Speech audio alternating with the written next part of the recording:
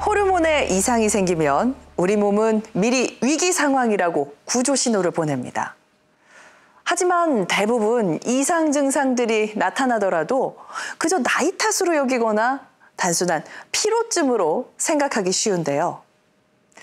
자, 이때 몸이 보내는 신호를 놓치지 않는 게 중요합니다. 다음과 같은 증상이 세개 이상 나타나고 또 3개월 이상 지속된다면 호르몬에 이상이 있는 건 아닌지 전문의를 찾아서 정확한 진단을 받아보는 게 좋습니다. 물론 그 어떤 치료법도 예방보다 효과적일 수는 없겠죠. 그렇다면 평소 어떻게 관리해야 호르몬의 균형을 바로잡을 수 있을까요?